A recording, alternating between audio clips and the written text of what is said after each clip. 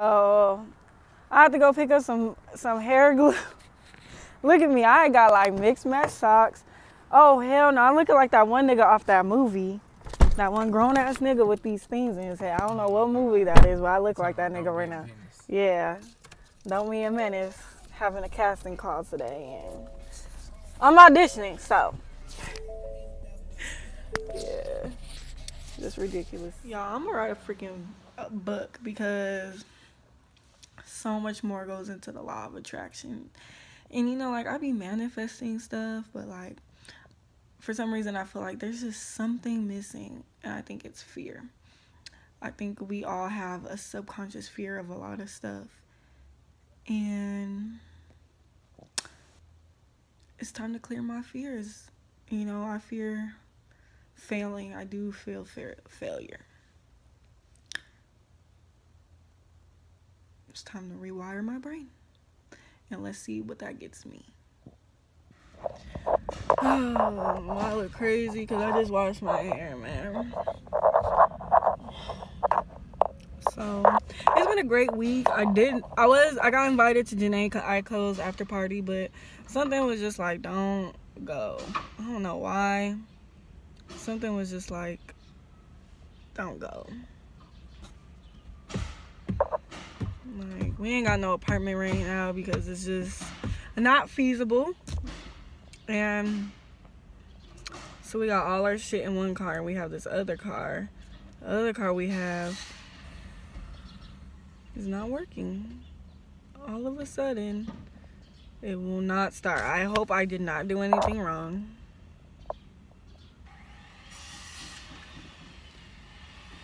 Is that a Lincoln?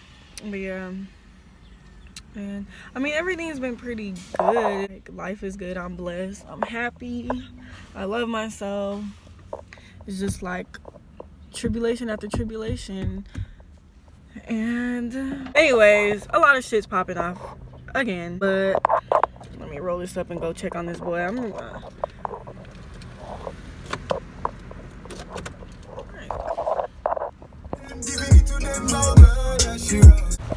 running errands for me and Bay. Just got our fucking breakfast for the day. So the coat, my nigga. Got hit by a lot I just wonder what somebody's gonna get.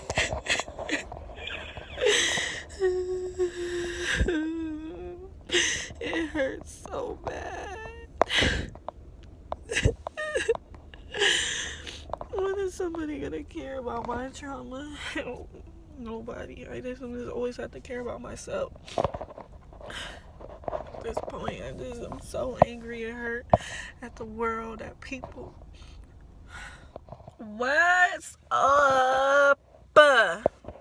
So, first of all, that video y'all just saw about me crying. I've been having a lot of triggers, bro. And I just really realized a lot about myself. I realized how sad I was. I realized how affected by a lot of things I was. And, you know, my boyfriend, I think, left that day. And I don't know. I really don't know what exactly transpired. I wish I would have been recording more up until this time. But, um, hold on. I was just really triggered, and deep down inside, that's how I really felt. I guess my whole life I've had this hard hard ass shell, and you know, I don't let people in, but I really just wanted to be loved, and it's like, but it's all the people I let in. I feel like they didn't know how to love me. Just a whole bunch of stuff that I'm I'm gonna, I'm make YouTube videos about each specific thing and so y'all don't worry, y'all ain't miss out. Y'all didn't get to see it firsthand like I wish y'all could have, but you know what? That's that's a dub. I don't care. I I intend there we go. I intend to vlog freaking all the time now. I don't care because I be having so many revelations and and be going through so many emotional ups and downs. And I want you guys to see this healing process. Like it's not just peaches and cream and and shit. So anyway, you guys want to hear some shit that happened to me? So, as you know, I don't have an apartment right now, living in Airbnbs and so like like you guys know we had the two rentals and shit or the two cars. One was a rental, one was our car. So, you know, we're going to get some food. I want to say this is on the 23rd or the 24th. Probably the 24th. One of those days. Anyway, so we go get some food, and Drew, he looks to the right and he pauses for a second. I didn't think nothing of it, but then it clicked in his head. He was like, the car's not there. I'm like, oh shit. So we're automatically thinking it got towed, you know, because it's fucking California and they just, they love towing somebody's shit, right? So we call the towing company. They're like, you know what? They didn't tow it. You might want to call Los Angeles police and, and report your car stolen. I broke down hysterically everything I own, you guys. Rihanna Fenty slides. I have one pair. I even left my other ones in Georgia, my white ones. So I only have my black and pink ones now. I just have my black ones. Um, I had them shoes that she had came out the creepers. I had so many fucking tennis shoes shoes clothes from zara. And, and i know it sounds materialistic but um, i'm just saying you know like i got my makeup out because i was out. And i'm so mad i didn't even record this. I went to Danny Lee's birthday party. So hopefully I can have some type of footage. I, man, it's been like a good, bad fucking few weeks since I put my last vlog, and I gotta get better with this because, man, but I got y'all. I really got y'all. I keep saying that, but oh well. I really got y'all this time, and I know y'all believe me. So yeah, I cried and cried and cried. But you know, it is what it is now. I don't have shit. I was blessed enough to have a $25 gift card from Marshall, so I was able to get a shirt, a tank top, because I already have black pants that I had already up in the house. Because I'm going to two modeling agencies today. Like, I don't care. Ain't nothing stopping that. So, I'm just have to go with what I got. And if they judge me, that's on them. I know I'm the shit.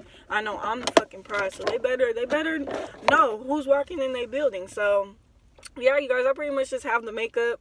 I have most of my makeup. I just bought new makeup that I was about to sell, about to put on my website. All that shit is was in the car. My birth certificate, my yearbooks, like a lot of things that I held dearly to my heart, like they're gone. But you know what? Can't shit shake me from this feeling that I'm about to make it soon. Like I know all this. Like I had to be stripped away because you know what? I didn't appreciate a lot of shit. I didn't make a lot of YouTube videos when I had all these clothes and makeup. When I had my apartment, I didn't do shit. Now that I don't have none of this shit, I want to do it so bad. I want to make content. I want to do my makeup. I want to make outfits of the days. Like there's just so much shit I want to do because I can't do it now. I don't have the leisure just to wake up in my own apartment go get all my stuff and do it like i took the shit for granted and this is what i deserve i do kind of deserve this because i was i took it for granted and then i would be negative and i like you know just a lot of shit like i really needed this to humble me and i'm grateful like I'm grateful that I'm being stripped of everything I have because all I can have now is my faith. And I know this is God. This ain't the devil. Some things can happen you know, you guys know I don't really literally believe that stuff. I believe in energies. Like I believe God is an energy, and I believe there's negative energies that can make you not like yourself, or other people can project that onto you. And so, you know that that stuff I really healed, and I think that's what this six months of being in LA was about was to be like, you know what, I don't want to do this, I don't want to do this, but I do want to do this, and you know, I want to be a really good person. Not that I'm not already, but I have a lot of pain in my heart that can probably make me into a, a, bad person or do bad things or think or say bad things that I really don't want a part of me. So it was like God God made me see myself. God made me really face myself. And it, it's been the most humbling, intense, sad, happy. It's just been so many things, but all I can say is I'm grateful for it because I would not want to have a platform and then be influencing people in the wrong way. Like I need my head and my spiritual my spiritual compass to be right. So I when I'm in the eyes of all these people, I can lead y'all right. No my I'm going to tell everybody about my bullshit, but I'm going to tell everybody why it was wrong and how I was delivered from it. So I know this is just my blessing, man. Like I'm so grateful. I'm so grateful cuz I know I'm going to get everything back so much better. So, yeah. Like I said, I'm still about to um I'm about to create a fucking sponsorship. I'm about to create a whole bunch of stuff like I don't care. I believe in miracles and you should too. You know? So yeah. That's been my life. one day I, we almost had to sleep out of the car, but it didn't happen. It almost happened, but it didn't. So, but that's because um, the money was taking forever to hit. Because I think when it gets deposited, it takes another day, but we thought it would be deposited right then and there. So that just caused some confusion. But yeah, man. That's my life. So, I think all the agencies are closed until New Year's. Great. I went and bought all these clothes, drove all the way over here, and it's okay, I guess.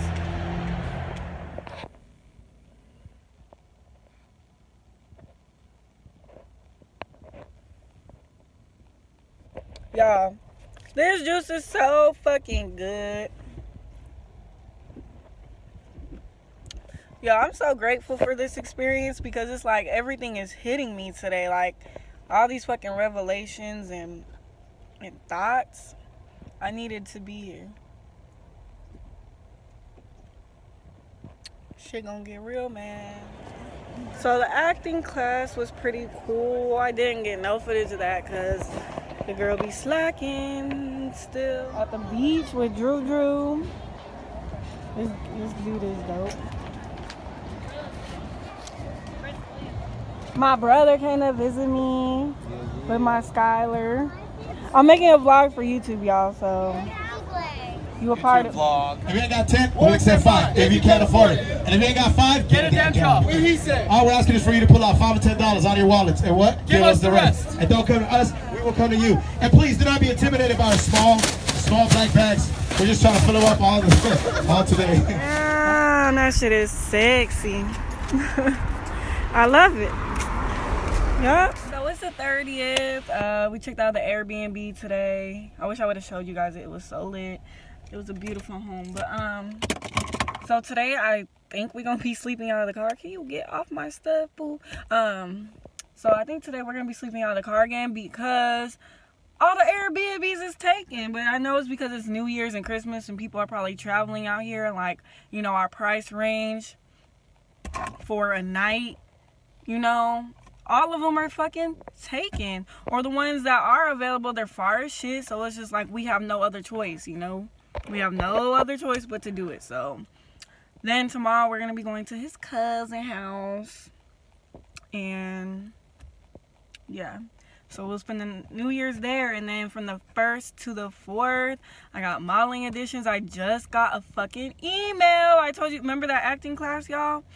Like, I really need to figure out if I can come up with these transits or something, because I want to, you know what?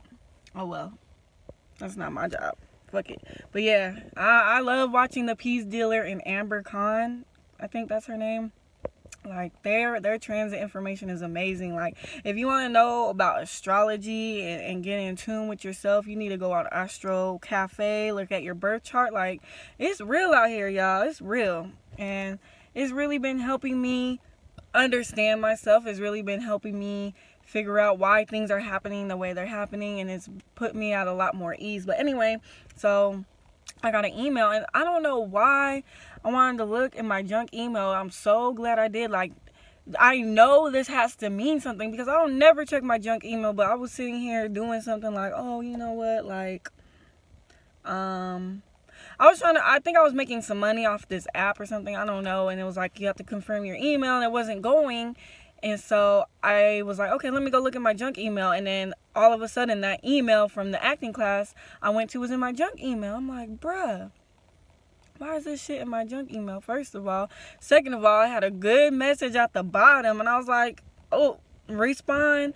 So we finna see, man. We finna see what, what's finna happen. But either way, I have a really good feeling. Like I know what I'm going through right now is crazy. And I know if a person who don't fuck with me watching this, they just like, oh yeah, she's down and you know, and then I know there's other people who are like, you know, praying up for me. But like I read so many articles like you can look up there's so many articles about freaking famous people who who sacrificed everything they had for their dream like I don't care I am sacrificing until I make it like that is on my soul that I rather die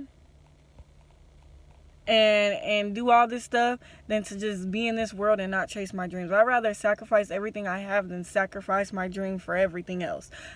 Fuck a nine to five. Fuck all that shit. Like, you know, you just have to know that every step of the way you're gonna be provided for. Yeah, it gets scary. Yeah, you're like, damn, I don't know what the next thing is. But all you can focus on is the moment right now and today, and just know that your destiny. I don't even fucking really fuck with law of attraction anymore because I just feel like destiny is the real thing. Like you I'm destined to be doing this right now. I'm destined to be going through this shit. I was destined to have, you know, negative mentalities and grow from them so I could teach y'all because when I get to where I want to get to in life, everybody's going to have so many questions and I know the way my mind breaks things down and, and the way I see things is going to touch so many people. I know God God had to put me this in, look, look, y'all.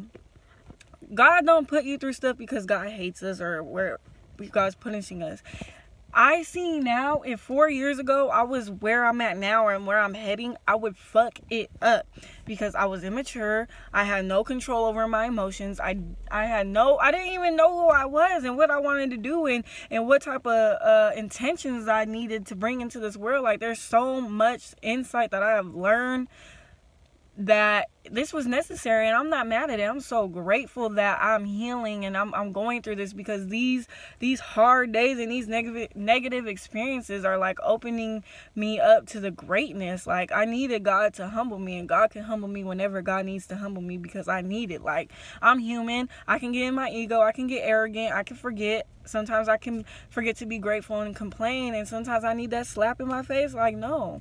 You know, and I, I'm thankful for that because you know that's wrong of me. That's wrong. God gives us so much every day and we just we don't even acknowledge it. And you know i feel like a shitty ass person for that. So i, I thank god for everything that god is doing and, and bringing me to my lowest and showing me and stripping me of every fucking thing that i know and that i have and and making me contradict myself and contradict myself one week i feel this way. The next week i don't even feel that way no more. It's just so funny. Like god god is hilarious. But you know i love god and I love my journey and I love my path.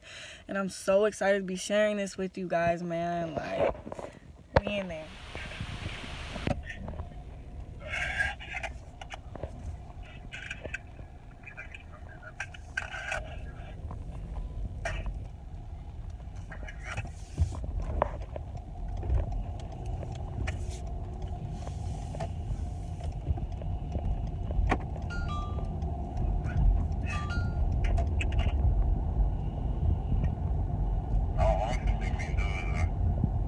Uh, it's good, man. I'm gonna just come up there, man. Yeah, yeah, yeah. That's what we're looking for. All right, it's all good, man. I appreciate the effort, man. For real. I'll be there in a second. Uh huh. My man's going all the way back there. Who calls and asks what type of blunts do y'all got? But this nigga was like, I go see. Shit, what type of blunts you need? Hold up. Oh, he said he'll work anyway. That's how I feel. That's how I be. If I was at work. Let's get it. Oh damn, they on a commercial.